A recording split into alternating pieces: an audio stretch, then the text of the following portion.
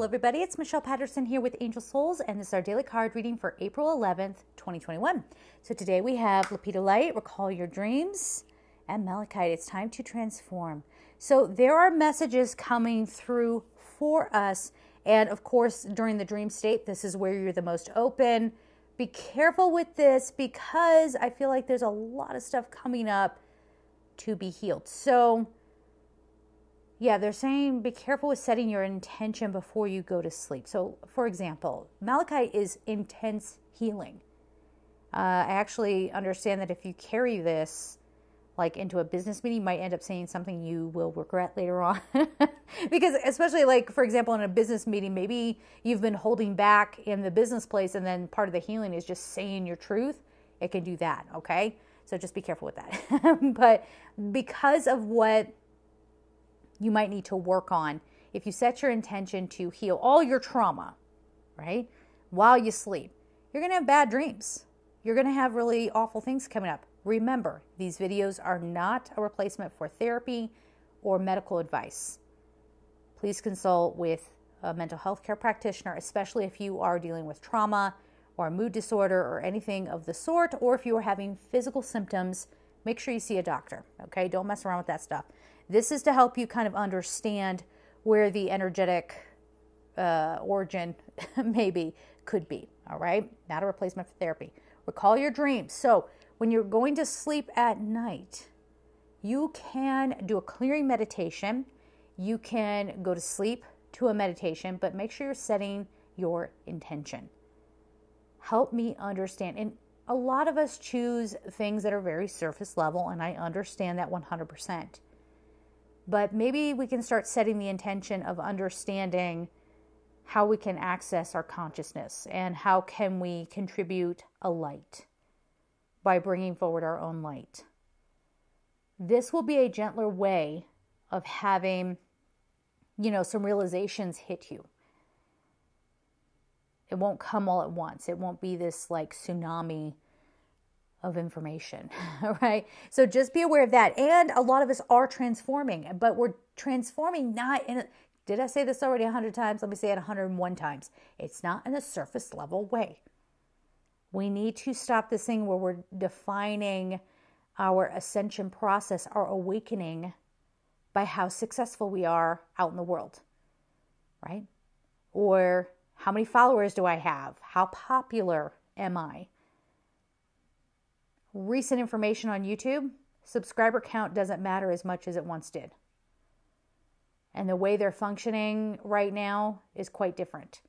So keep up with that. there you go. So it's not just about, as I said, these surface level things, feeling popular, feeling like that is validating your worth. But transforming on such a deep, deep level that you are allowing love in. You are, now I'm not talking romantic love, I'm talking divine love. You're allowing yourself to be reset and doing this clearing. That's what this helps with too. And clearing away some of that pollution. These are the cabochons. Getting those going here. And of course, Malachite with Archangel Raphael. That's your focus for today. It's it, you notice a lot of this stuff has been very, very much around the heart and what the heart wants. Okay, here we go. Archangel Chamuel, and there's Raphael. Pops up a lot. And Jophiel, beauty, love, grace, harmony, fullest potential, love, but finding love through self love first. Okay? And Raphael is all about soulmates. But when we say soulmates, soulmates can be a real pain.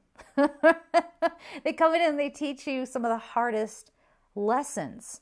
I look back on people who I would never want to refer them as soulmates because maybe they were abusive or whatever, but in a way, just their presence and what they taught me brought me through. I know, I don't want to give them credit for that. But if we're talking on a soul level, that's usually a facilitator for healing. Just get through your lessons, you know, pay attention, get through them so that you can move on from it. Yeah, we have hiding. Mm-hmm. Truth. Oh gosh, this is the truth coming out, and it's very, very healing, and it helps us reconnect in with our beauty, love, and grace and our fullest potential. And then I want to put these over here. look at that. Isn't that fun? Sorry. anyway, they hold still, I think, if I put them in between the cards. There we go. So, this thing that you feel, perhaps, that has eluded you, yes? Um, this calling. I know there's something there. I feel this pulsation of like I should be doing something. I should be going somewhere. I should be showing up in a different way. Whatever it is for you, there's clarity that's coming. But I can assure you, this is not going to be ego satisfying. And if you try to twist it so that it is, you're going to be in trouble. Okay. You probably, if you watch my videos, you've heard me use this example. But back in the good 2012 era, oh, yes, we're going back there. Uh, I was having all these angel experiences and it was wild and it was so fascinating to me. And i asked uh, archangel gabriel because gabriel was being a presence there if this sounds weird to you it won't in the coming years. Hi welcome. Okay. So anyway i remember i got this message that i would be writing three books and i got all excited because all i wanted was a calling i wanted a career i wanted to feel like i was being this creative force in the world bah, bah, bah, bah, all ego stuff. And I took the message of I was going to write three books and I twisted that in my brain that I would be an author, that I would be a published author. And as I went on that process, I found it was one challenge, just a lot. You know, sometimes there are blocks in our way so this thing I want, I want to get my work out there because isn't that what's going to define me? Isn't that what makes me a success? And it just wasn't happening, wasn't happening, wasn't happening. And finally, I come back to Archangel Gabriel and I'm like, what was that all about? And the message was, I gave you the message that you would write three books. I never said there would be a process of publishing them necessarily. And I have written three books. And every single one of them uh, was, when I go back and look at them, it was some stage of my life that I was trying to heal or to come to terms with. And that is what those three books did. They helped me understand where I needed to come through. So that's what I'm saying. Like, we want to be careful, especially when we're recalling our dreams. We might try to put some deeper meaning on it or whatever. But this thing that's hiding if you if it comes up and you're trying to twist it into a surface level success it might very well backfire on you. That you know example of me twisting my message really held me up. It held me up from starting my own business. I was in an abusive environment. I kept going mostly because i felt very connected to someone um, in that environment. I felt like I was learning a lot from that soul and, um, you know, care very much. There were a lot of people there that I did care about. And I hung on for that, but I was also hanging on because I thought, well, this is my day job, and this is just until I can get my books done and published. And then somehow I'll just be rich. I don't know where I got that from. Like, boom, it's just going to be a New York Times bestseller. okay, you know, whatever. But that's not the reality for most writers. And if you're a writer, you know that. Even if you get your book published or you get it put out there or whatever, it doesn't guarantee that you're always going to make like a ton of money off of it, right? So that held me up from moving on to something that I could create for myself. And, you know, being a sole proprietor and um, feeling a little more, I wanted human connection and I wanted to contribute.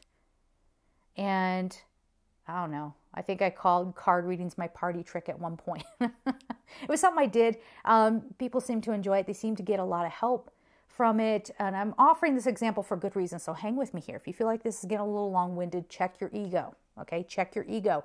Are you just too used to being overstimulated by messages bombarding you? Relax in. Sit with me for a moment here. We're going somewhere with this. right?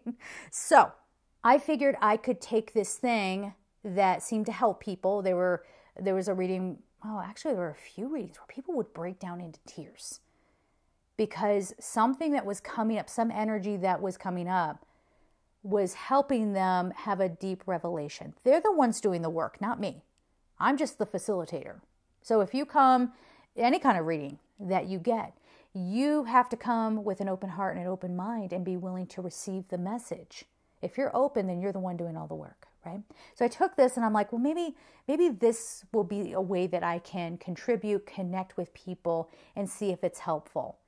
That was eight years ago, and I'm still doing this. So that's the kind of thing that we're talking about here. You don't want to hold yourself up through an ego contortion of whatever message is coming through from your guardian angels, from an archangel, what have you.